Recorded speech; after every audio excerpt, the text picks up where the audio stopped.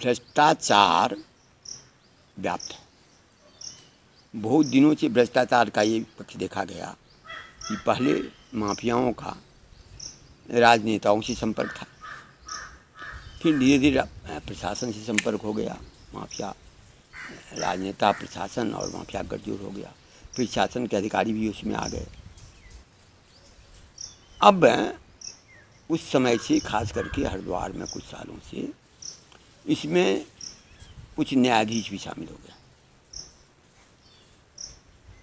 जिसका कि हमने अनेक शिकायत भी किया है, लेकिन किसी शिकायत पर कोई कार्रवाई नहीं हुई। और अब इसका प्रतिफल ऐसा हो गया है कि अब खुलेआम कहता है कि देखो हम भ्रष्टाचार करते हैं, भ्रष्टाचार करेंगे।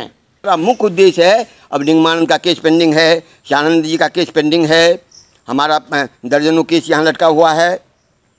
अनेक जजों के खिलाफ हमारी शिकायत है।